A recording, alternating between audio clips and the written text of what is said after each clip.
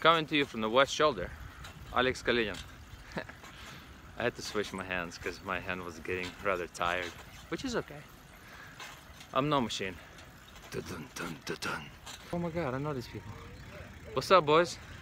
I see you everywhere, man. That's it. What's up? Good morning. Good morning. Hello. Dogs. Good morning. Good morning. Morning. Oh, yeah, dogs again. Good morning. Oh, people, more people. Good morning, social media. It's your boy Alex, obviously. I always record videos and I just figured one I will record for it to stay. Look at this, beautiful. So this morning I just wanted to bring up one point. I've been talking about it on my disappearing Instagram stories. But I, I know, I'm confident that I'm so impactful in other people's lives that I just want this message to always be there on the internet. So here's my lesson number one for you. Many people write to me and they say, Alex, Alex they say, how do you maintain positive attitude past the life challenges? You know, it's 2020, it's coronavirus. It's just sad and we're just mad and blah blah blah. And I'm very grateful that this question got asked to me because I, therefore, started digging deeper into my own understanding of this uh, interesting concept of Alex's unsuppressible positivity. So one word they came up with to describe. One word is this, gratitude. What does that mean? It's really hard to be upset or sad or mad about life if you're grateful for life. And it doesn't have to be anything crazy, you know? You don't have to make your first million. You don't have to drive a fancy car. Maybe it helps. But be grateful for the things that you do have. And you can start basic, very basic. So follow me here. I will mention, for example, I'm riding a bike here in the morning, checking my makeup. What do I have to be grateful for? Well, look around you. Beautiful grass, beautiful grass. You know, I could have not had the grass. Look at this. Beautiful sweatshirt. Keeps me very warm. If I wasn't warm, I wouldn't be out here recording this beautiful content, sharing with my uh, million subscribers. Look, lake, ducks, trees are growing. You know, my bicycle, check this out. This isn't, by the way, sponsorship by Harley Davidson. That's in the next video, maybe. And, you know, but be grateful. Be grateful for the things you do have your family, your, I don't know, job or lack thereof. Maybe people who say, oh, you know, I lost my job or I don't work as much. Well, maybe it's time to rethink if you even need that job. You know, maybe, you know, many people reach out to me and they say, Alex, coronavirus was one of the coolest things because it took me out of the job that I never wanted to do and now I'm pursuing my degree or hobby, or musical instrument, all these beautiful, wonderful things. Look, they think I'm checking my makeup. That's nice. But here's what you need to understand. Be grateful. Be grateful for the things you do have. Your ability to run, walk, go on walks, eat good food, you know, drink water. And oftentimes, people forget that because they indulge themselves into things that are just over the top and overstimulating if you will. You know I it's hard to appreciate the taste of water if all you drink is Coca-Cola you know or juice. It's just one of those things man. People just over oversaturate their lives with many things and then they don't and then they don't see the value in the simple things so take a step back and just reevaluate the foundation of your life what truly what truly makes you happy and think back to the times when you were happy. Whatever made you happy, do that. You know, I know that sometimes I wake up on the weekends and I lay in my bed and then I start going about my chores and I'm just like, man, like this morning just isn't the one. Good morning. This morning just isn't the one. It's just, I'm off. Well, I know that for me, bike rides make me happy. So I know that I need to wake up, ride my bike, and I'll be happy.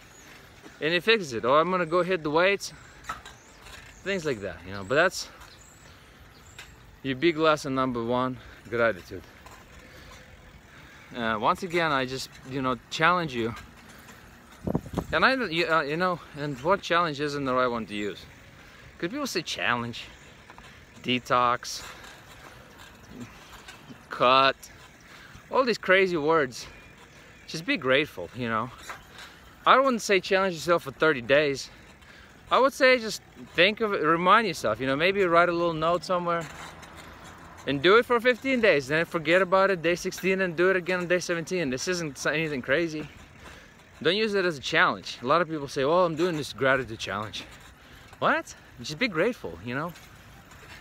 So it's one of those things. One of those things that ultimately pay off big time because you notice that by paying attention to the little good things, big good things come. You realize that um, you realize that by focusing on the good, you notice more good. It's one of those things where I was reading a book called The Compound Effect. It was gifted to me. And it spoke about the things that we, you know, as humans, our eyes always see. Like we always see things. However, we don't pay attention to everything because it would be over stimulating for our brains. Therefore, our brain only picks out the things that we program it to pick up. Therefore, tune your mind into positivity and you'll notice positive things. It'll take some time, I'm sure, and that's okay, as long as it gets done. But that's the big thing, folks. So tune your mind to pick out positivity. And nobody is gonna do it for you. You will notice, you will notice that when you tune your mind to it, people are like, oh my God, you live in your wonderful world that you made up. Well, how else am I supposed to live? It's my world after all. I only see the world out of my one box, you know? So it's my choice how I see things. You know, and screwed up things happen in life. And that's what I tell people. What are you going to do about it? Fix it. How do you fix it? By putting your head down or getting to work, right? Well, it's hard to get to work if you're so negative and hopeless. Oh my God, my relationship. Oh my God, my job. Oh my God, my this, my that.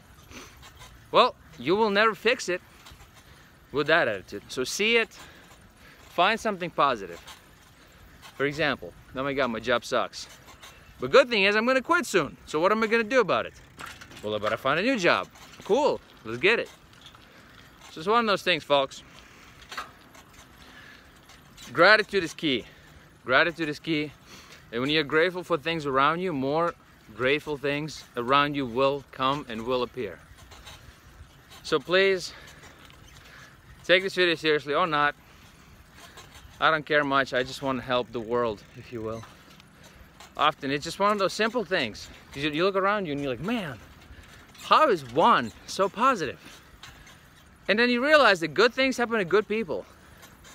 If you develop that good good mindset, good attitude, good positive attitude, you realize that better things will come.